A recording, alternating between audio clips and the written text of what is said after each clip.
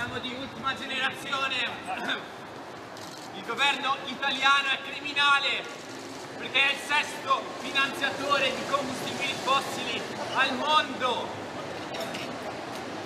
Investe 3 miliardi di, soldi, di euro all'anno nei combustibili fossili. È inaccettabile. Quest'anno abbiamo perso oltre 7 miliardi di euro in campo agricolo a causa della siccità e del caso estremo.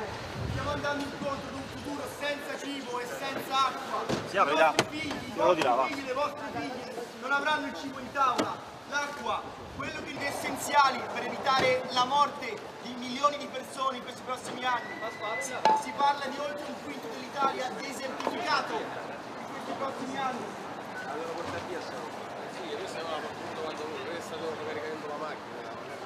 Consigliere scientifico delle nazioni il consigliere scientifico del governo britannico dice che abbiamo circa due anni per definire il destino dell'umanità.